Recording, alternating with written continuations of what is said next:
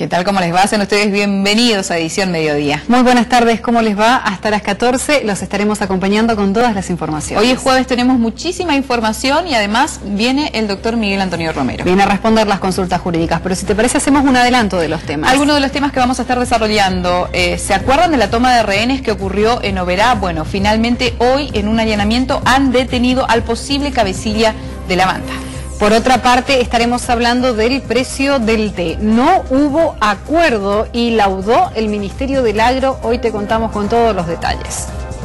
Muchos deportes y por supuesto vamos a hablar de la selección argentina porque se va a estar presentando esta noche desde las 20 en un partido importantísimo por las eliminatorias ante Uruguay. Hablamos ahora de este robo ocurrido en Oberá que vino junto a una toma de rehenes. Recordemos que ya había un colombiano detenido y ahora en un allanamiento se detuvo a otro colombiano y se presume que sería el cabecilla de la banda.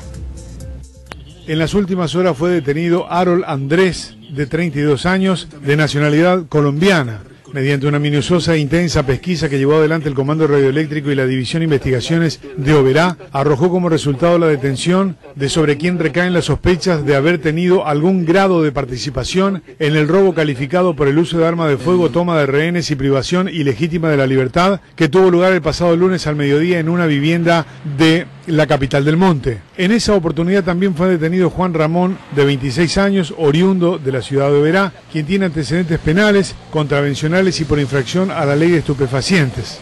En su poder fueron secuestrados dos revólveres calibre 32, una motocicleta 200 centímetros cúbicos, 21 mil pesos y tres celulares en tanto que en poder del colombiano detenido se incautó una motocicleta 110 centímetros cúbicos con un casco, un teléfono celular, un chip y una memoria, además de 39.950 pesos, dinero este que no guardaría relación con el hecho investigado, pero no se descarta que sea producto de otro ilícito. En el procedimiento trabajaron efectivos del Comando Radioeléctrico, la Patrulla Motorizada, la División Investigaciones, Seccional Primera y la Comisaría de la Mujer dependientes de la Unidad Regional 2 de la Policía de Misiones. También fue demorada una menor de 16 años que estaba junto al sospechoso. Luego de los trámites legales, la adolescente fue entregada a sus familiares para guarda y cuidado.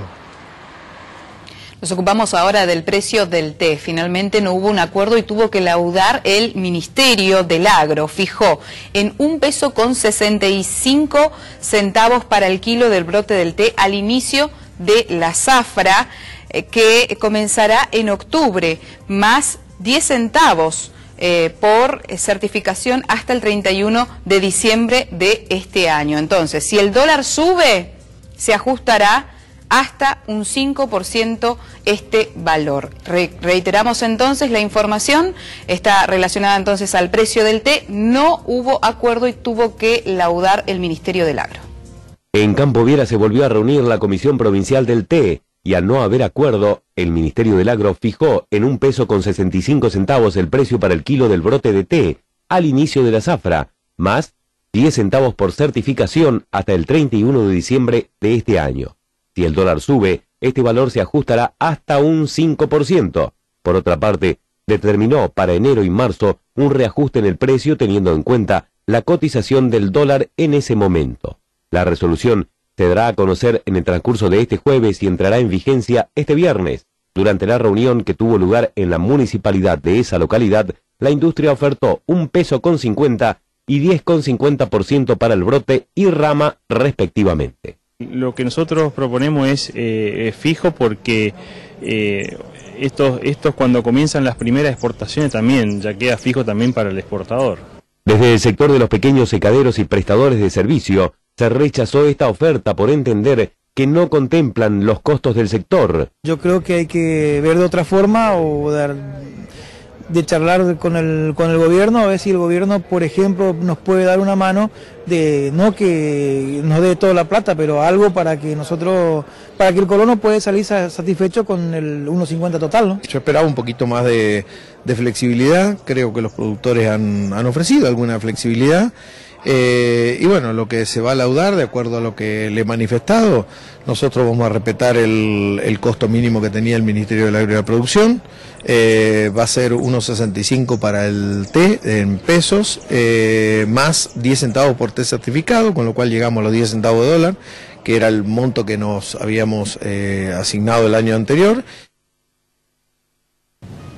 Ahora los invitamos a sumarse a nuestro Facebook, Noticiero 12 Edición Mediodía. Nuestros amigos nos encuentran así, todo con letra. Y mientras vamos escuchando un poco de reggae de fondo, saludamos a todos los que se suman, nos mandan sus saludos, sus mensajes y lo hacen justamente para ver la tapa del tiempo que nos está indicando en el Facebook una gran amplitud térmica hoy y un fin de semana caluroso, soleado y ventoso. Así se despide el mes de agosto entonces. Último día del mes, eh, nosotros nos vamos a la pausa y le hacemos con música. Llega el Festival Internacional del Reggae en Buenos Aires con la presencia de eh, Julián Marley. Esto significa que estarán varios artistas, entre ellos la fecha será el 2 de septiembre en el Parque Sarmiento con entrada libre y gratuita. Bueno, para los que les gusta el reggae, la oportunidad ir un viajecito a Buenos Aires y disfrutar de esta música.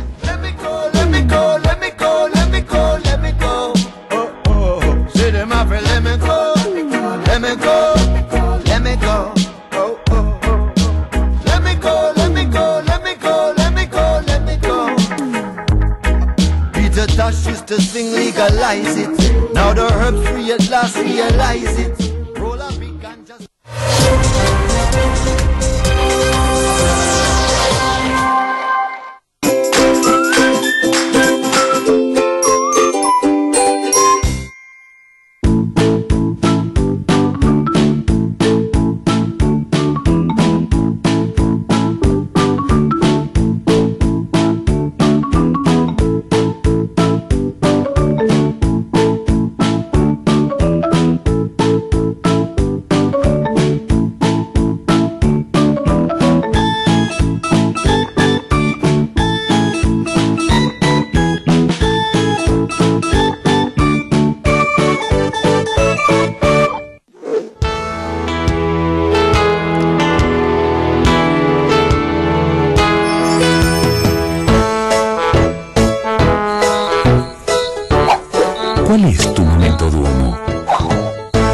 Nordeste Baterías. 30 años ofreciendo calidad y honestidad. Contamos con distintas marcas en stock permanente. Cambio a domicilio sin costo dentro de Posadas. Test completo de batería y del sistema eléctrico del vehículo con escáner de última generación. Simplemente nos aseguramos de que llegue a su destino más preciado. Somos Nordeste Baterías. ¡Eso no es penal! ¡Que cobra! ¡No lo puedo creer! I want to be your Purificate, King, tu estado más puro. Tus artistas favoritos están cada vez más cerca. Compra tus entradas hasta en 6 cuotas sin interés.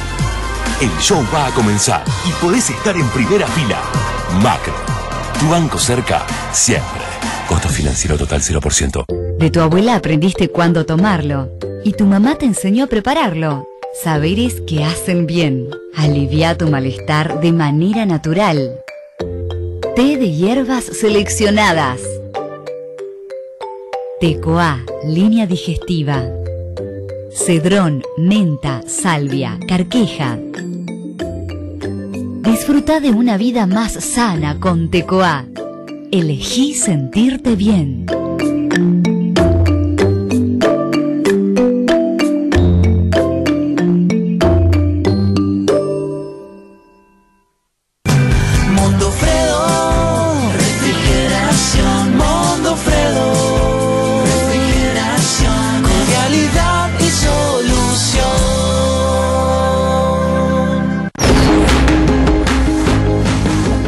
Presenta su nueva línea de quitamanchas. Solo tenés que agregar una medida a tu jabón habitual para remover todo tipo de manchas directamente en el lavarropas. Nueva línea quitamanchas Ala. Canal 12, en un servicio a la comunidad. Se solicita la colaboración de la población a fin de dar con el paradero de la señora Miriam Celeste Vargas Benialgo o familiares cercanos a la nombrada. Cualquier información comunicar al teléfono 03743 421 404 o 03743 420 544 de la seccional primera o 03743 422 108 de la comisaría de la mujer. O bien a la seccional policial más próxima a su domicilio. Desde ya, muchas gracias.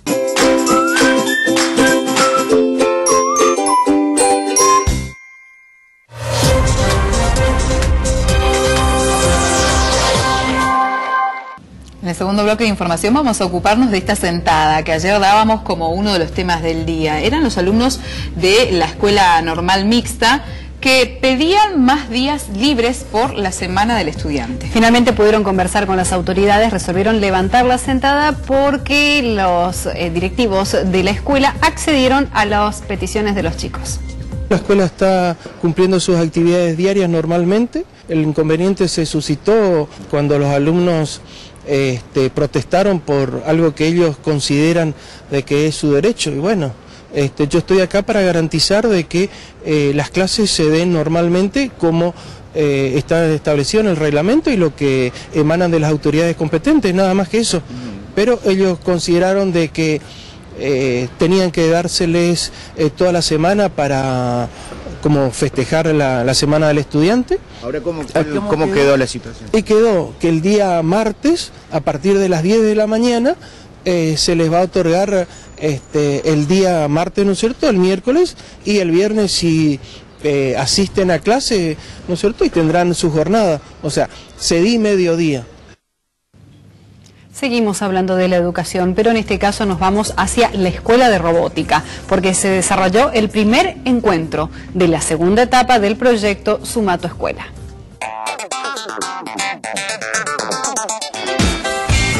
El primer paso es el interés eh, para poder participar en esta línea que ofrece la Escuela de Robótica como para acercarse a las distintas escuelas de la provincia.